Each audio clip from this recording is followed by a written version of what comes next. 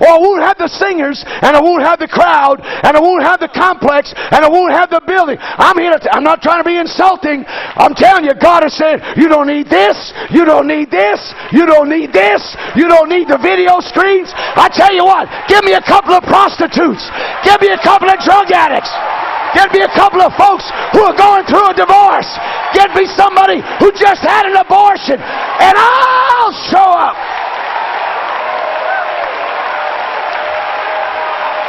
That's the only encouragement I've got going.